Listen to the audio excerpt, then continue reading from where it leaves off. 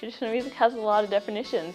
It is generally claimed as the music that is passed down by oral tradition or by less structured than classical music. Music of groups of people that has been passed down from generation to generation. Putting aside classical, classically trained music, it's authentic, authentic music, learned from the ear, from the soul. Telling stories about the music, learning history about the music. Most types of music have some oral tradition associated with them.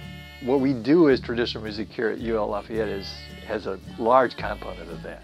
We teach Cajun and Creole French music, as well as some other styles of music too, fiddle and accordion and French vocals, and we also have band classes, so you can be a Cajun band for credit, Zydeco, bluegrass, blues. I'm in a, a Cajun ensemble with Eileen and, and Luke Uval. We get a lot of opportunities to play at festivals. We lead jams or we um, have had opportunities to play on stage. Uh, the university embeds itself like in Festival Carillon. It's, it's a big part of it. A lot of things are held on campus. A lot of things from the campus are taken off campus. Everything about this university ties with everything in Lafayette, you know.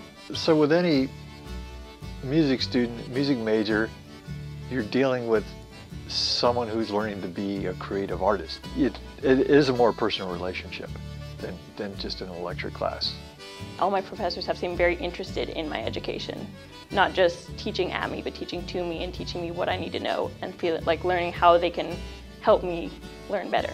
A lot of my courses have been very tailored to what do I need to do. I came from Seattle where in a sense we had culture, but it was a very different kind of culture. Down here it feels like a big family and you're feeling like you're being welcomed home. It is the opportunity to learn so much about something so different. This music is unlike anything else and it's a great experience.